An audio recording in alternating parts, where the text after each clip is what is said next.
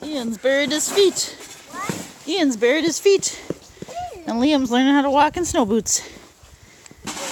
Yeah.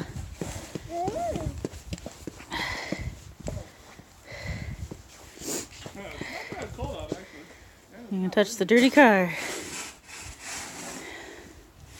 Ian's playing over the snow.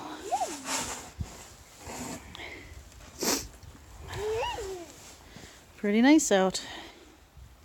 You know, for North Dakota.